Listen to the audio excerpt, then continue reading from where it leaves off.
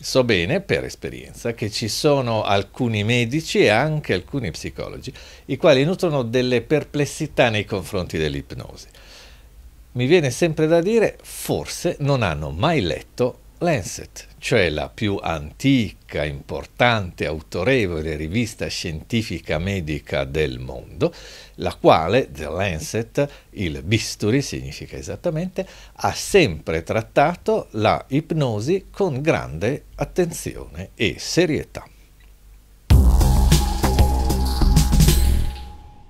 Qui ci riferiamo alla ipnotecnica scientifica, quella che secondo la formulazione tipica di una rivista seria come appunto Lancet è basata sugli evidence-based controlled trials, cioè sulle verifiche eh, controllate basate sull'evidenza, cioè fatti, riscontri clinici solidi e sicuri. So bene che esiste anche una ipnosi un po' cialtronesca o anche semplicemente dilettantesca, in giro ce n'è molta, questa è comunque anche interessante, ma insomma non è quella che interessa propriamente a noi e eh, quindi ci riferiamo sostanzialmente alla psicotecnica ipnotica seria, di cui io mi trovo di fatto a essere un po' eh, il portavoce in certo modo e eh, che, eh, mia, di cui sono molto orgoglioso d'avere anche eh, Lancet come compagno di strada. Nell'arco dei due secoli in cui Lancet si è occupato dell'ipnosi, i termini usati sono cambiati, come in tutta la storia dell'ipnosi, si è passato da mesmerism a magnetism a finalmente hypnotism dalla seconda metà dell'Ottocento. Eh, questa che adesso vediamo è una rapida eh, cavalcata attraverso alcuni elementi, le, gli articoli che trattano dell'ipnosi, che fanno riferimento all'ipnosi su Lancet in questi due secoli sono stati centinaia, noi ne vediamo qualcuno, giusto come esempio, nell'arco del tempo, quindi con dei grandi balzi, giusto per vedere eh, qualche cosa che ci aiuta a capire quanto l'ipnosi e la medicina vadano un po' assieme, la storia dell'ipnosi, la storia di Lancet, la storia della medicina, abbiano proceduto parallelamente con grande rispetto. Per quanto riguarda tutti i dettagli, gli approfondimenti, i riferimenti bibliografici precisi, rimando al manuale completo di ipnosi, dove tutto questo viene trattato molto più ampiamente. Qui voglio solo presentare una sintesi esemplificativa, soprattutto per quei medici e per quelli psicologi che, forse avendo letto un po' troppo distrattamente Lancet, mantengono ancora delle perplessità. Vediamo dunque molto rapidamente questa storia dell'ipnosi e di Lancet insieme. 1829 è il primo articolo ufficialmente dedicato all'ipnosi. Si intitola, come l'uso del tempo, Mesmerism, non ha un firmatario, esce anonimo, precisamente il 20 di giugno del 1829, ed è firmato probabilmente, è stato scritto probabilmente da Thomas Wakely, che è l'inventore, ideatore e direttore di Lancet per tutto il primo periodo della sua storia. Eh, sono i primi anni dell'esistenza di questa rivista già allora molto autorevole e subito compare l'ipnosi o mesmerismo. 1837. Abbiamo due articoli, sempre per fare degli esempi, che sono di Wood, di William Wood, e che eh, compaiono per presentare Mesmerism in London, è il titolo di uno, Mesmerism at uh, University College Hospital, cioè articoli per descrivere quanto sia diffusa al tempo, siamo nel 1837 in ambiente medico, la ipnosi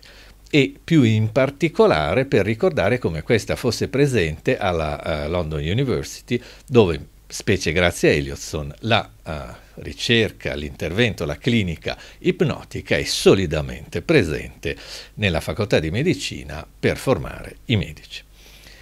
1838 una precisazione di Herbert Mayo, il quale precisa magnetismo animale o mesmerismo e sviluppa questo tema. Passiamo al 1847 in questa rapida cavalcata ed ecco che vediamo che anche su The Lancet si riflette il tema, per cui essendo stata appena utilizzata in modo più specialistico lettere per produrre l'anestesia in sala chirurgica, si nota che ci sono delle continuità, la ipnosi era stata ampiamente utilizzata in anestesia chirurgica all'epoca, soprattutto in ambiente inglese, eh, c'è tutta una serie di personaggi che lo hanno fatto e quindi si nota che c'è molta continuità tra questi due modi. In effetti finirà a vincere l'etere e si userà molto più spesso, anche se tuttora talvolta si usa l'ipnosi come anestetico, ma eh, si userà molto più spesso l'etere in medicina, in chirurgia, che non l'ipnosi. Andiamo un grande balzo in avanti, ma giusto per capirsi, per notare 1906 abbiamo ben tre articoli nello stesso anno di tipo sperimentale. La ipnosi è sempre stata presente eh, nell'aspetto, nella dimensione clinica di Lancet, a questo punto ecco che subentra un tentativo di approfondire giustamente anche aspetti sperimentali, quindi abbiamo due articoli di Ash e uno di O'Brien tutto sugli esperimenti dell'ipnosi, modi per indurla e altri esperimenti ancora per capire meglio la natura dell'ipnosi. Facciamo un altro balzo in avanti al 1915-1916. È un momento molto importante perché è proprio su Lancet che Myers, quello che rilanciando il modello francese di Janet della rivisitazione del trauma originario in stato ipnotico per far superare quello che viene detto lo shell shock, cioè la nevrosi di guerra, letteralmente shell shock è la, uh, lo shock da granata, il, oggi si chiamano uh, uh, disturbo post-traumatico da stress, PTSD, e uh, Myers pubblica, che quello a cui si dà ufficialmente, un medico dell'esercito inglese, a cui si attribuisce ufficialmente la rinascita di questa metodologia, da allora ad oggi si usa tuttora normalmente questa tecnica nell'esercito inglese, americano e così via, appunto nel 1915-16 due contributi fondamentali nel rilanciare questa tecnica vengono appunto pubblicati da Lancet. 1936 questo giusto per vedere singoli esempi, ripeto, ne potremmo prendere decine di altri, ma giusto per capirsi. 1936 Bernie pubblica un articolo sull'impiego dell'ipnosi per affrontare un caso di anoressia. Purtroppo non è eh, semplice usare l'ipnosi per l'anoressia, nel senso che a volte funziona e a volte no, in questo caso ha funzionato e quindi l'Asset eh, giustamente lo ripropone. Salto in avanti al 1958, giusto per avere un altro esempio, ed ecco abbiamo un articolo sul trattamento dell'asma e della febbre da fieno con l'ipnosi. L'ipnosi non si utilizza per eh, cercare di combattere direttamente l'asma, ahimè, ma per ridurre tutti i timori, le ansie che si accompagnano a chi ha questo grave problema.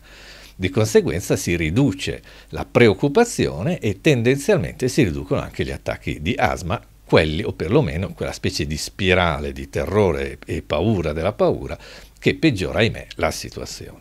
Giustamente l'Esset registra e promuove questa uh, constatazione clinica. 1959, ecco qua che abbiamo un altro classico dell'ipnosi, cioè la valutazione di un trattamento delle verruche attraverso l'ipnosi. Noi sappiamo che in, un certa, in una certa percentuale dei casi conclamatamente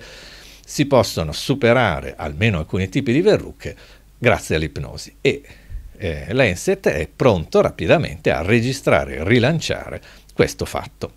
1976, un uso classicissimo dell'ipnosi, cioè l'ipnosi per la endoscopia.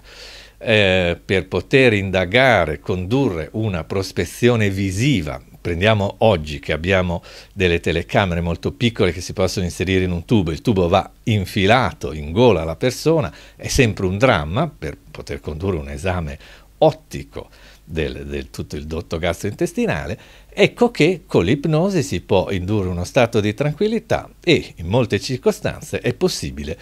avere una osservazione endoscopica serena, senza effetti collaterali e rapida. Quindi ci sono chirurgi che fanno loro personalmente l'ipnosi e la endoscopia. Lancet, 1976, giustamente, tra le mille altre cose che potevamo prendere, ho preso quest'altro esempio, cosa fa? Rilancia questa tecnica così interessante. 1986. Un altro esempio, qui si vede molti più autori, come d'uso ormai eh, quello contemporaneo, però eh, resta il fatto che si utilizza l'ipnosi per trattare il vomito intrattabile. Ci sono una serie di persone che hanno immediatamente, per esempio quando gli si avvicina eh, un apparecchio per un intervento odontoiatrico, un riflesso di vomito istantaneo oppure altre persone che hanno una tendenza a vomitare senza che si riesca a controllare. Un caso particolarissimo è quello della iperemesis gravidanum, cioè in gravidanza.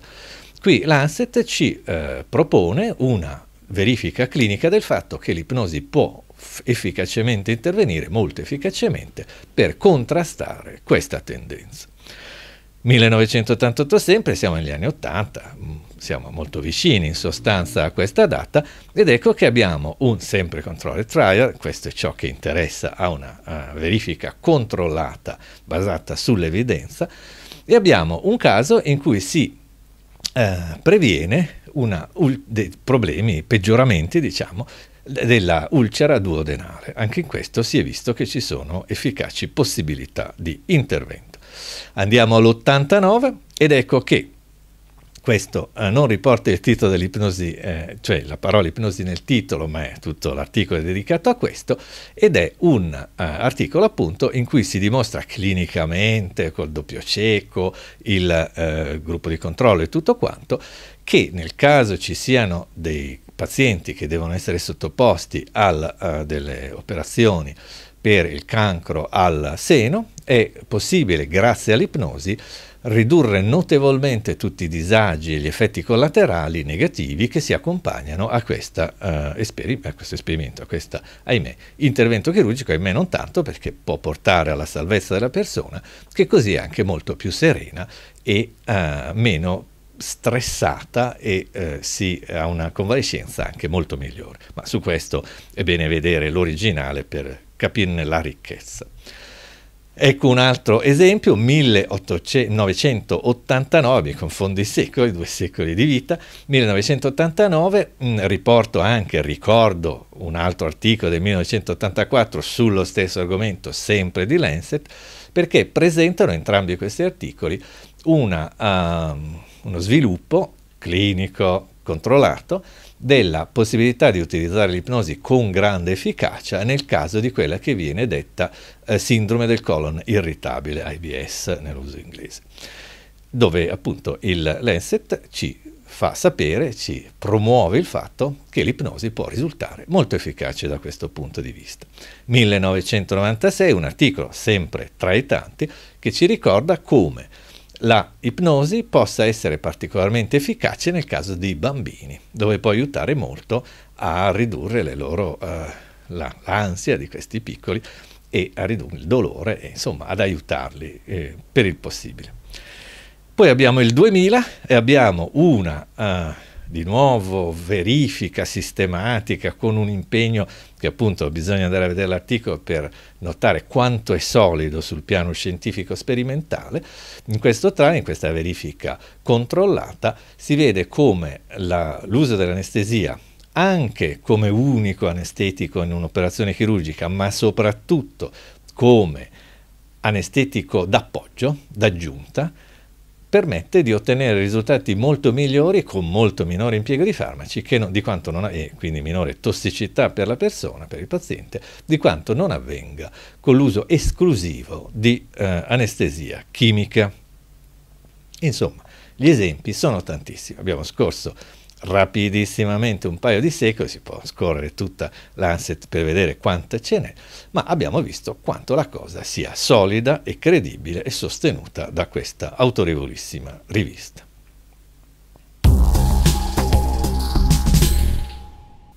Concludiamo dunque questa rapida cavalcata invitando chiaramente a vedere direttamente la rivista Lancet, un anno per l'altro tutto sommato, che per due secoli ha trattato dell'ipnosi con grande serietà e credendoci, e vediamo una alcune considerazioni che sviluppa Larkin in un articolo del 1999, quindi poco più di dieci anni fa, dove eh, vengono riportati i risultati di una inchiesta che ha condotto per conto appunto di Lancet all'interno delle cliniche mediche, soprattutto universitarie, degli Stati Uniti.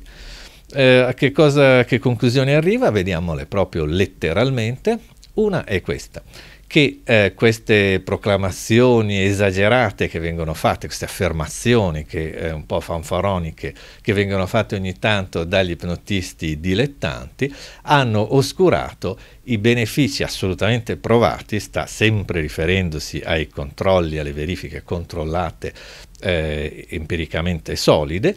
eh, di questa tecnica. Questo lo dicono i clinici medici che di routine, cioè quotidianamente, si può dire utilizzano l'ipnosi per affrontare il dolore, l'ansia da uh, iniezioni e molte altre condizioni. Riporta dunque letteralmente l'affermazione di Michael Nash dell'Università del Tennessee, il quale dice c'è una ricca letteratura scientifica sull'ipnosi, che arriva indietro almeno per cento anni, in realtà almeno due secoli, sappiamo bene anche solo stando a Lancet, ma anche di più eh, utilizzando altre fonti. Ogni anno ci sono circa 150, eh, 150 articoli sull'ipnosi nei giornali scientifici della medicina in generale. Eh, non si tratta di uno di quegli interventi approssimativi, grossolani, un po' confusionari, per i quali non c'è mai stata fatta nessuna ricerca sull'ipnosi c'è stata prodotta una ricerca enorme, migliaia di ricerche sperimentali evidence-based control trials. Ricordo ancora altra notazione che la American Medical Association e altre associazioni mediche, negli Stati Uniti ce ne sono diverse, hanno riconosciuto formalmente l'ipnosi come un trattamento medico affidabile. Un altro elemento che ci viene presentato da uh, David Patterson dell'Università di Washington che si occupa specificamente di uh, persone che hanno avuto delle gravi ustioni purtroppo. Allora, mm, eh, in questo caso ci sono uh, dei grandi dolori che si accompagnano a queste eh, patologie, a questi traumi e eh, solitamente viene, vengono utilizzati grandi quantità di morfina per ridurre il dolore. E Patterson, che eh, da nove anni viene finanziato dal NIH per studiare l'uso dell'ipnosi proprio in queste situazioni, dice che utilizzando anche l'ipnosi con i loggers, che eh, sarebbero i uh, tagliaboschi, quelli enormi personaggi che si vedono nei film, e che sono un tipo di soggetto cui uno magari non pensa pensando all'ipnosi, cioè persone assolutamente decise, quadratissime, e eh, non eh, persone evanescenti come alcuni credono siano un po' bamba, insomma, che si possono ipotizzare facilmente, non è assolutamente vero, quindi anche persone più che normali, e eh, che sono il contrario dello stereotipo della persona che si fa far su, hanno ricavato dei notevoli vantaggi. Dice letteralmente Patterson che talvolta per contrastare il dolore legato a queste ustioni si ottengono degli effetti drammatici, cioè fortissimi. Cosa ci dice ancora uh, a conclusione sostanzialmente del, uh, del, suo articolo, della sua inchiesta? Eh, l'autore ci dice questo, che nonostante il loro entusiasmo, i clinici che utilizzano l'ipnosi ci mettono in guardia sul pensare, sul sovrastimare i benefici di questa tecnica. Sottolineano questi autori che l'ipnosi può essere appresa con una certa facilità e può essere usata come uno strumento da quelli che operano nella pratica generale, medici naturalmente stiamo parlando di Lancet, e da altri eh, professionisti della salute, in particolare dagli psicologi dai, eh, e dagli operatori sanitari di diverso tipo. Però sottolineano, e questo è sempre bene ricordarlo, e lo fa anche Lancet in questa sua inchiesta, come conclusione, che l'ipnosi è un contesto in cui tu fai della terapia, non è la terapia in se stessa, l'ipnosi è una tecnica, non è una disciplina. L'ipnosi è una tecnica da utilizzare in medicina, in psicologia, nelle varie circostanze, ma non è che in sé l'ipnosi, come alcuni credono, sia un modo di fare, è una tecnica, è uno strumento. Quindi il fatto di usare l'ipnosi non ti renderà un buon clinico. Tu devi essere già un buon clinico e quando avrai imparato l'ipnosi avrai un risultato anche migliore. Questa è la sostanza, come ci dice per esempio Nash. Lui dice posso insegnare a uno studente in mezz'ora a uno studente delle superiori a usare l'ipnosi in mezz'ora. Forse esagero un tantino, ma insomma diciamo che si può prendere in pochi giorni. Bene, con una certa serietà l'ipnosi. Però utilizzare l'ipnosi per scopi terapeutici è tutta un'altra storia. Quindi, conclusione finale definitiva, Lancet ci dice che l'ipnosi è importante, che è una tecnica e non una disciplina a sé stante, che può risultare utile in molte circostanze della uh, pratica clinica, della vita professionale dei medici. Noi sappiamo anche di psicologi, ma Lancet parla soprattutto dei medici. Come finale voglio ricordare ancora che per approfondimenti sull'argomento, rivedere tutto quello che viene citato, che ho citato in questa breve presentazione, questa breve osservazione di Lancet, viene riportato con molto maggiore approfondimento e dettaglio nel manuale completo di ipnosi, a cui rimando per tutti gli approfondimenti che altrimenti potrebbero sembrare così un po' delle, quasi delle esagerazioni, ma sono tutti documentatissimi nel minimo dettaglio. E quindi vi auguro di riuscire a credere anche voi come Lenset in questa tecnica che non è magica, non è risolutiva, non è la fine del mondo, ma è un eccellente eh, aiuto per chi lavora con le persone, con i pazienti, con la gente, per aiutarli e per sentirsi anche più tranquillo eh, l'operatore stesso.